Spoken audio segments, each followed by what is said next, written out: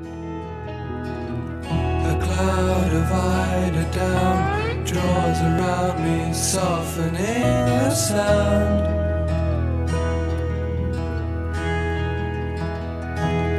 Sleepy time, and I lie with my love by my side, and she's breathing.